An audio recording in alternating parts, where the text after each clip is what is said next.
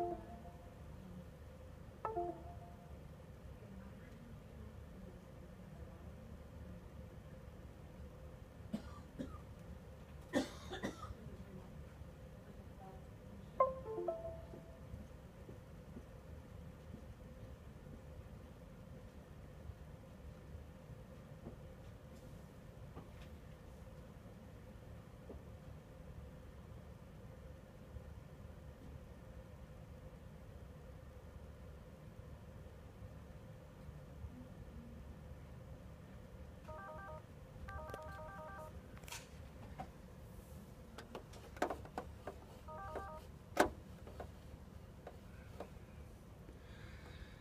the first time I've seen it just shut off and not come back on. Usually it beeps all those times and comes back on.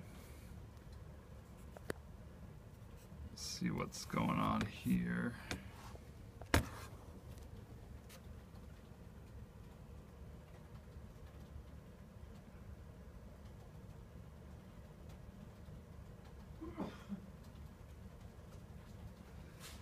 Now here's the dock. It's plugged into network, VGA, keyboard and mouse.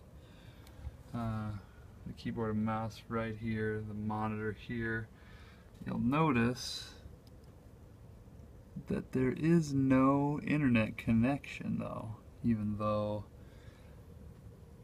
the network port is connected.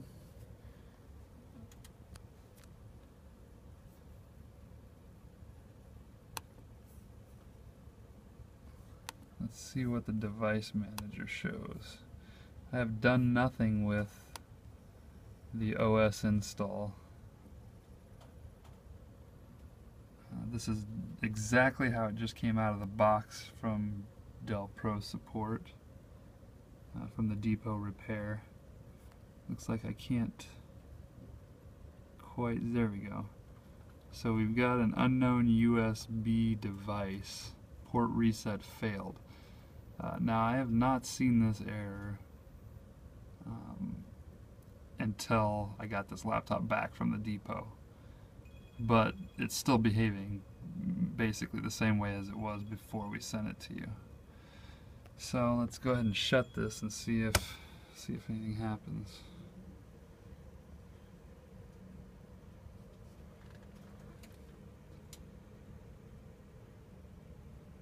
It does not appear so.